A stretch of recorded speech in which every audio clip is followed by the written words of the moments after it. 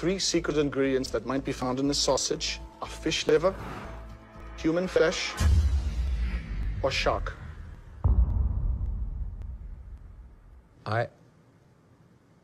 Is this it? Are those really the three ingredients? Yeah, uh, s- fish liver, human flesh, or shark. You guys, i- is this? Is there a problem? Is that? And as I said, there's, you know, there's a stigma surrounding this Clear, we're particular good. Legal protein. cleared it. We're good. We're good. We're good. Let's go on, Brian, please. Um. All right. Uh. Yo.